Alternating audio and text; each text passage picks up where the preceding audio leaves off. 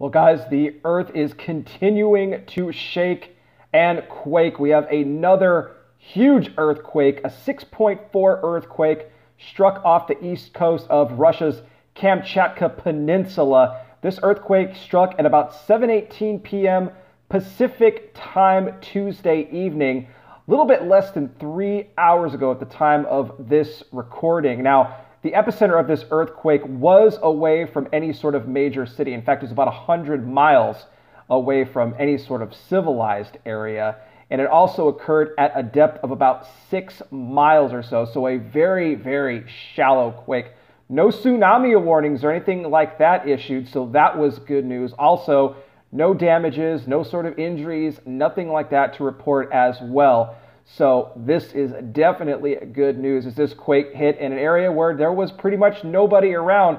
But still, we are going to monitor everything going on, guys. And I'm telling you right now, I've been doing this on YouTube for nearly three years now, and I have never seen as many earthquake headlines as I have this year in the year 2019. And I'm sure that is only going to continue to increase as we go on through here throughout this year and into the following years as well. But we will continue to keep you up to speed on all of it taking place. We monitor the quakes for you here. We let you know what's going on. As Jesus said when his disciples asked him, What would be the sign of your return and the end of the age? Jesus answered them and said there would be earthquakes in diverse places. That was one of the major points that he gave to the disciples. But guys, I want to hear from you. What do you think about all the earthquake activity?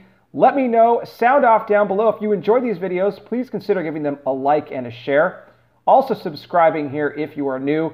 I greatly appreciate all of your support. Thank you so much for spending a couple of minutes of your day with me today.